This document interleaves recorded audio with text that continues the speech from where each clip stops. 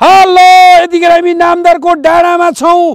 अपुरो बिल्डिङलाई पुरा गर्नको लागि प्रार्थना गर्नको लागि पास्टरलाई उत्साह दिनको लागि हामी यहाँ आइपुगेका छौँ।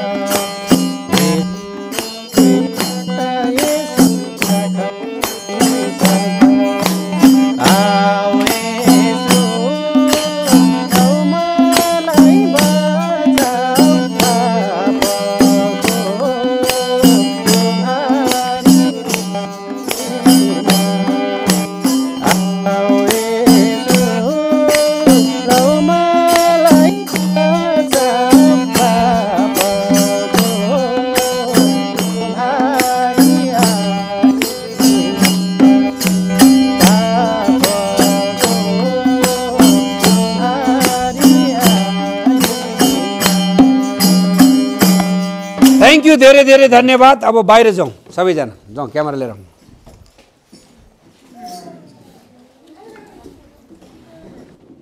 खाना रेडी भइसक्यो भोग लगाइसक्यो ल यो खिच। खाइ खा कार्यक्रम सकिएपछि मात्र खाना खाने है। यो बाहिरबाट एकचोटि सर राउन्ड हान्नु त। बिल्डिङको सबै। अपुरो बिल्डिङ।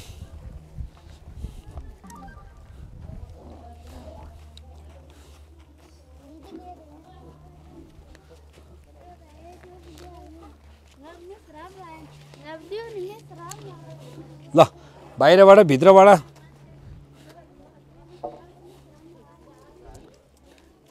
विशेष भाइ अब फाइनल गर्ने अनि भात खाने ल। बाहिरबाट एकचोटि सर खिच्नु त।